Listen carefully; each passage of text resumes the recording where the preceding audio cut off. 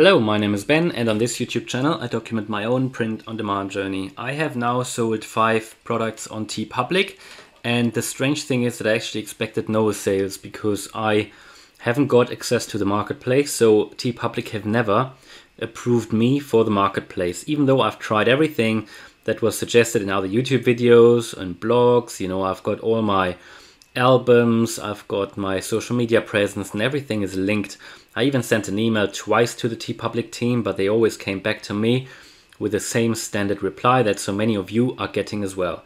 Now I've still made five sales, which is not great, but at least I'm making some sales, so I will definitely continue to upload to TeePublic, And I believe this comes from Google. Now, I'm not sure about this, so what I've done, I've set up a Google Analytics ID for TeePublic, and I'm going to show you how you can do the same.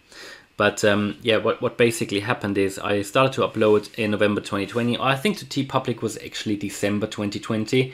So I've been uploading since then, more or less regularly. And yeah, if you break it down per month, it's probably like one sale per month, which isn't great, but at least gives me a little bit of motivation. You know, it's far behind what I earn on Spreadshirt and Merch by Amazon or Redbubble or Zazzle, but still, why not, you know? Um, I'm using an automated uploader, so it's not a problem. I can just upload to TeePublic as well. Now, what? How, how do you do this now? Because what, what is Google Analytics? So Google Analytics will allow you on a um, on a Google Analytics page to really track what is happening on TeePublic. Now, Redbubble, for example, they have their own sort of analytic, analytics, which allows you to understand even without Google Analytics what's going on and where your traffic comes from, even though it's a bit limited. But TeePublic, TeePublic doesn't have anything like that. So if you want to understand how your traffic gets to your TeePublic store, then you need to follow this step. So you go to, first of all, you go to your account on TeePublic and you click on Google Analytics. Then you come to this page, which basically describes everything what you need to do anyway. So it depends on if you have already a Google Analytics account or not. If you don't have one, you need to create one first, but it is very straightforward. I can't show it to you here because I already have one, but it is straightforward. I think the little slightly more complicated bit comes to when you want to add TeePublic to your Google Analytics account, but I'm going to show you how that works. Now we go to Google Analytics now. So this is Google Analytics. You can just find it by going to analytics.google.com or you just Google Google Analytics on Google and um, that should work then. Now, how do you add TeePublic now? What you need to do, you go down here to admin, you click on admin and you come to this page here. To add Google um, to add TeePublic to your Google Analytics, you need to create a new property.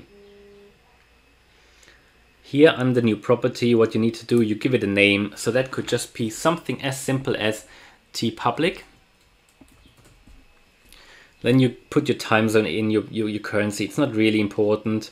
Um, it's not really important for this. What is important though, and that is true for Redbubble and also for TeePublic, is to click on Show Advanced Options here. And then you need to create a Universal Analytics property. That is a UA code you will get then, and you need to activate that. And what you then have to do, you have to put in the website, which would be in this case teepublic.com. And you don't need to add your own store, you just put the website in like teepublic or redbubble.com. I will switch that off here because you don't need the Google Analytics 4. You only need the Universal Analytics property because TeePublic is a different way of tracking it. Um, but Google, um, uh, TeePublic don't support the Google Analytics 4, so they only support the Universal Analytics. Then you click next. And then you can type in here something about your business, you know, arts and entertainment maybe, small business.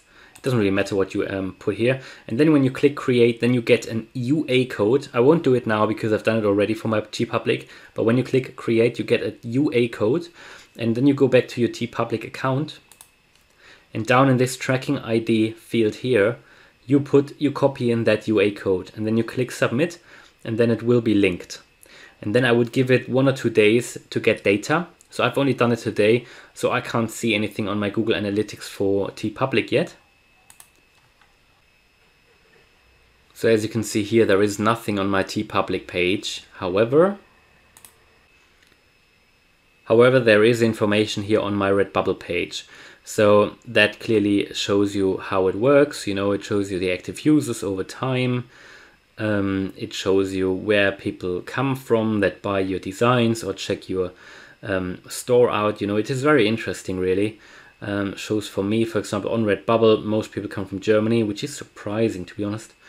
Don't know why I don't make any German designs, um, but still, yeah, very very interesting. And um, this is pretty much it. So I'm gonna wait um, a couple of days, maybe a couple of weeks, and then I can give you an update where the traffic to my store comes from. I'm sure it must be from Google because how on earth I would otherwise make any sales because my designs don't show up on the marketplace. I mean, I tried everything to find them. I can't. Even the ones that sold, I, I just can't find them. So they probably can be found on Google. I found one of my designs on Google. So I guess that is where TeePublic probably do quite a good job um, to um, yeah to, to, to, with a link to to um, to Google. Alright, so hopefully that was useful. Hope you liked the video. If you did, then please smash the like button. And if you want to follow me on my print on demand journey, subscribe to the channel. Thanks a lot for watching and see you in the next video. Bye.